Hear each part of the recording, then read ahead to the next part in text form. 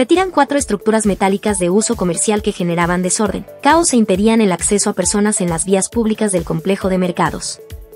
La acción se realizó a la altura del Mercado San Miguel. El operativo se desarrolló a las 5 de la mañana, en la intersección del Girón Luciano Castillo con Girón C.